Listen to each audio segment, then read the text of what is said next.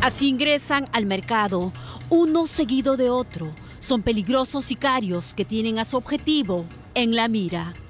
Luego de acabar con la vida de su víctima, salen corriendo. El asesino lleva la pistola en la mano. Desciende el copiloto y efectúa varios disparos, impactando tres en la región cabeza y toras de la víctima, produciéndole la muerte. Un joven de 24 años fue ejecutado por el conocido sicario a quien llaman Mata por Gusto, que pertenece a una peligrosa banda criminal, conformada también por un policía en actividad, intervenido por la Dirincri. El agente tenía múltiples denuncias y ahora es investigado por el delito de sicariato. Carlos Garrido González, de 24 años, era un joven que tenía muchos sueños por delante. Quería estudiar, pero la falta de recursos económicos lo obligaron a trabajar en distintos oficios. En pandemia se convirtió en cambista. Pero el 24 de diciembre del año pasado salió de su vivienda con dirección a la posta médica. Iba a colocarse la vacuna contra el COVID-19, pero antes acudió al mercado Primavera de los Olivos para tomar un jugo, sin darse cuenta que unos sicarios lo tenían en la mira. 8 y 3 de la mañana, una cámara de seguridad registra cómo llega este vehículo verde y se estaciona en la puerta 3 del mercado. Era conducido por Javier Caleb Benítez Anticona, de 21 años, quien viste polo negro. Del asiento posterior baja un sujeto de polo blanco. Ambos conversan y Caleb camina hacia la otra puerta. Así vigilaban a su víctima. Este sujeto luego regresa y conversa con su cómplice. A los minutos, el de polo blanco ingresa al mercado. Su misión era observar los movimientos del joven de 24 años que se había convertido en el blanco de estos sicarios. Ya con sus coordenadas, da aviso a sus cómplices. Metros más allá se estaciona una camioneta color gris, conducida por el suboficial de tercera, Harley Haas Segura Yatas, de 25 años, quien transportaba al sicario Frank Anthony López Quirós, alias Mata por Gusto, o Chatín. Cuando se ve las cámaras y los momentos o los actos preparatorios de, este hecho criminal, vamos a ver que viene eh, eh, transitando por esta zona una camioneta en cuyo interior se encontraba este es delincuente conocido como el Chatín, quien, quien registra pues una eh, eh, cadena de eventos delictivos, criminosos, violentos, en, diversos escenarios. Y quien estaba conduciendo era la persona que ahora lo encontramos intervenido y que eh, sería un funcionario policial. En estas imágenes se ve cómo el de polo negro baja y el sujeto del asiento posterior pasa al lado del conductor. Enciende el carro y lo estaciona estratégicamente a la espera de que salgan sus cómplices para huir velozmente.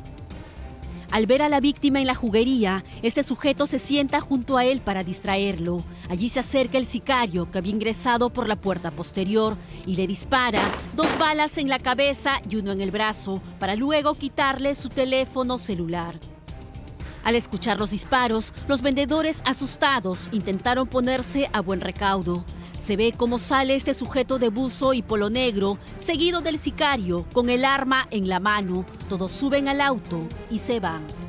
Se ha logrado pues eh, levantar todos los videos que ha permitido a ellos colegir e individualizar la participación de cada uno de los integrantes de esta banda criminal que han cometido este execrable crimen.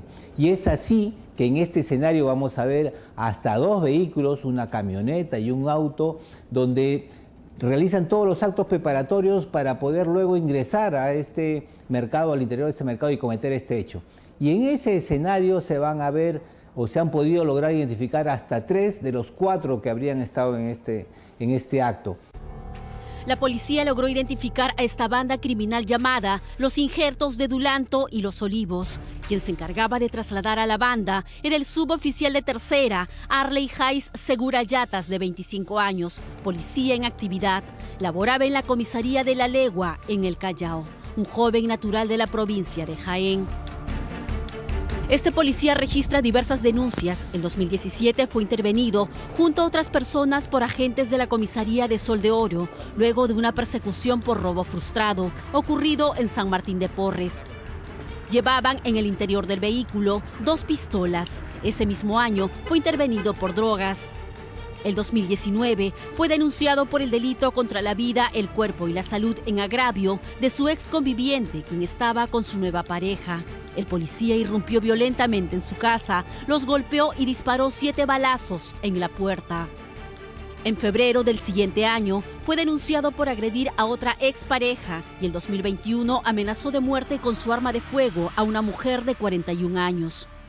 Ya la Policía Nacional del Perú, a través de sus órganos de inteligencia y contrainteligencia, tenían perfilado a esta persona y es por eso que paralelamente a las pruebas objetivas, toda esta información que usted indica ha permitido establecer todo un recaudo de información, cuál era la vida oculta de esta persona quien creía, creía estar pasando desapercibido.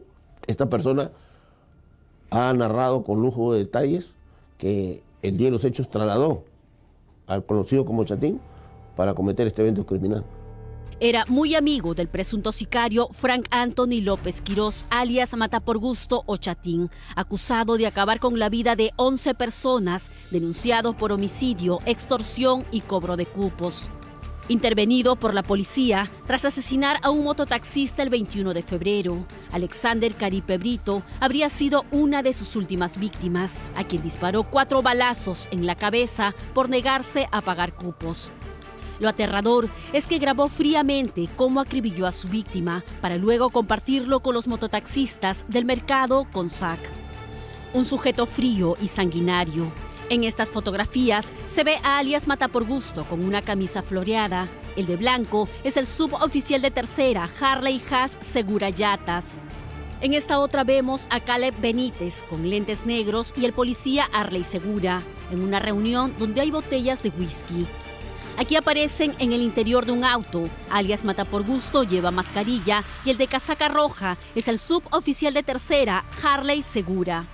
Frank Anthony López Quirós, alias Mata por Gusto, se encuentra en prisión, al igual que Javier Caleb Benítez Anticona, cumpliendo prisión preventiva por robo agravado en banda, ocurrido el 31 de agosto. La División de Homicidios de la Dirincri logró intervenir al suboficial Harley Haas Segura Yatas en su centro de labores, en la comisaría de La Legua, en el Callao. De inmediato se ha ido y se ha intervenido esta persona. Y en estos momentos él está detenido como cualquier ciudadano. Está sometido a rigurosas investigaciones en un debido proceso. Actualmente, este efectivo policial está investigado por el delito contra la vida, el cuerpo y la salud en la modalidad de sicariato de Carlos Gonzalo Garrido González. La policía espera que se le dé todo el peso de la ley como cualquier ciudadano común.